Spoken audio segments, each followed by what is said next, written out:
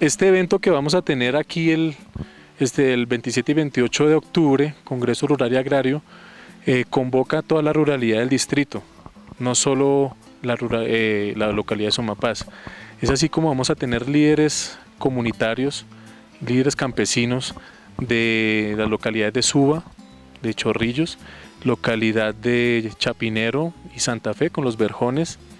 localidad de Usme con sus veredas, localidad de Ciudad Bolívar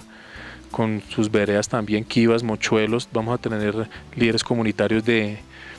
Pasquilla, de las Mercedes, de Santa Bárbara. Ellos nos van a acompañar acá y eh, para pues apoyar digamos la jornada desde la visión de su ruralidad,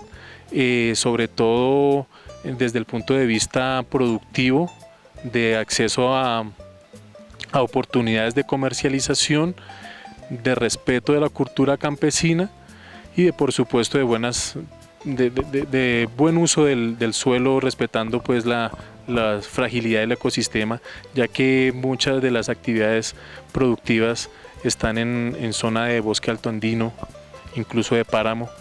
y la intención de, que, nos han manifestado en, reuniones previas estos líderes comunitarios es que eh, quieren hacer una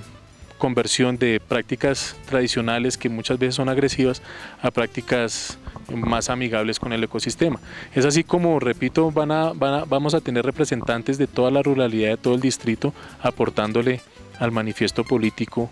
del Congreso Rural y Agrario.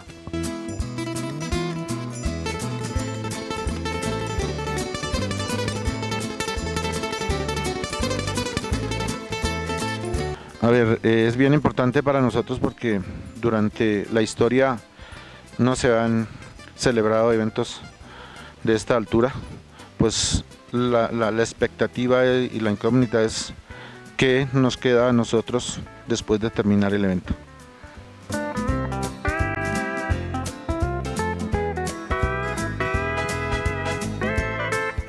Hacer un llamado a todos que trabajemos unidos